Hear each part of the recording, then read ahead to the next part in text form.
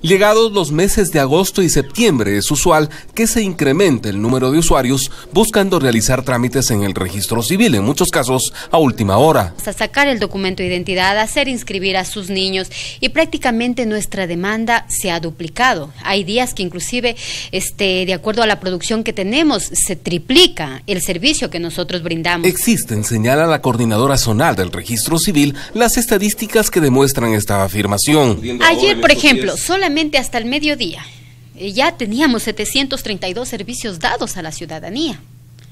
Entonces, lo que normalmente se da hasta el mediodía, unos 300 eh, servicios. En muchos casos, argumentan, no se está utilizando las facilidades que brinda la tecnología a través de la red virtual.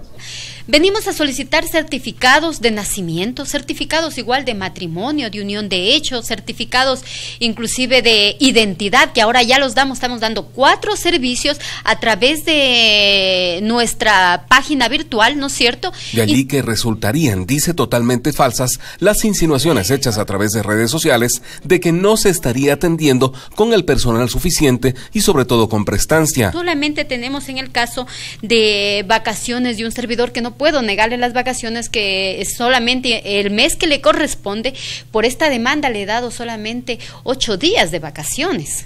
Entonces eh, estaba eh, reemplazando el otro compañero de módulo en supervisión, pero estamos con todos, todos eh, este, turnándose para dar la atención correspondiente. Por la cantidad de usuarios existentes para tramitar la cédula de ciudadanía, por ejemplo, se deberá utilizar por lo menos una hora de espera. Llega, paga por el servicio, después de que lo atienden información pasa a banco doméstico, paga por su servicio, de ahí le dan el turno correspondiente.